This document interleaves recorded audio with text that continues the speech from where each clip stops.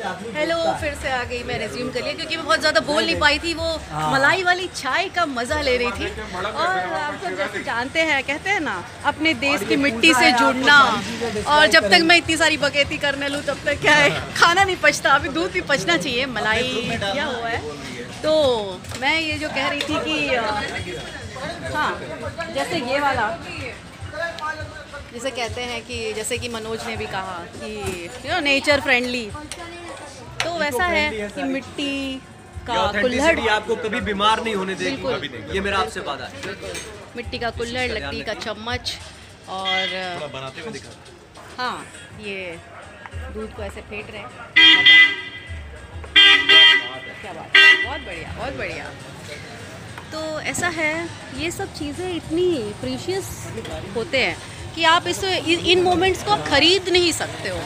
आ, ये मोमेंट्स तो आपको बस ऐसे करके क्विक करके कैश करने पड़ते हैं कि बस वो आए और आपने कैश कर लिया और एंजॉय कर लिया उसको गेन अप कर लिया। तो वो ये वैसा वाला है। एंड तो अभी हम शायद होटल की तरफ़ जाएँगे अब मतलब कल नहीं अभी हम तो पाँच दिन है। क्योंकि सुबह सात बजे रेडी होके हमें शूट पे भी जाना है। और बहुत ही फ्रेश जैसा कि अभी दिख रहे हैं वैसे ही रहना है। तो उसमें नींद भी पूरी होनी चाहिए नहीं तो वो चेहरे पे आ जाती है।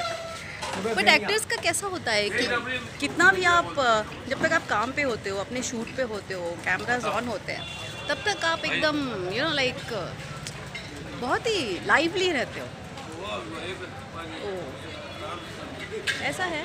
और ये देख सकते हैं आप शहर जिसका रेनोवेशन हो रहा है, इलाहाबाद। ये तो ये सड़कें दुकानें तो बस। हाँ मेरे ये जो लोग आए हैं, मेरे को आर्टिस्ट शायद मुझे पागल समझ रहे हैं। वो उस फील को नहीं समझ पा रहे जो मेरे जो बचपन वाला जो वो है कनेक्टिविटी दो हम लोग सिटी में रहते थे।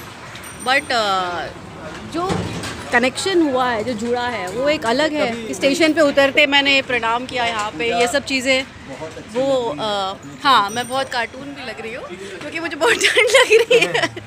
उड़ा लो मज़ाक। और अ, तो बस यही है यही कहना चाहती हूँ और आप सबको प्रणाम करना चाहती हूँ और फिर से वही ब्लेसिंग्स की लालच में कि बहुत सारी ब्लेसिंग्स देते रहें कि मैं अच्छा काम करते रहूँ और bye bye take care everyone